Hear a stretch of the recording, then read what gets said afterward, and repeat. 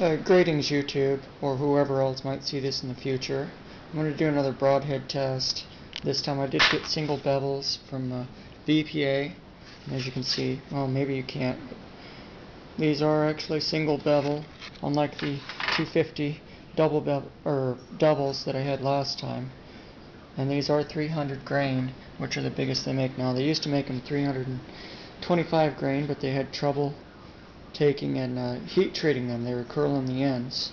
This is what I'm going to shoot. Something a little softer, uh, a little kitchen uh, plate that goes to, uh, well, that oven over there uh, came with it. But since we don't use it, I'm going to test it. I'm going to use uh, an Easton carbon power arrow.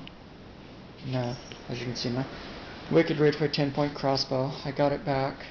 Brand new limbs and replaced the string. Excellent service. Had it back to me in a week. Uh, uh, about 300 feet per second here. I've got this on the kitchen island as you can see so I want to go ahead and uh, cock this and take it outside and test it. So uh, stay tuned. I'm going to make one more video after I take this outside. It's going to be kind of dark so bear with me.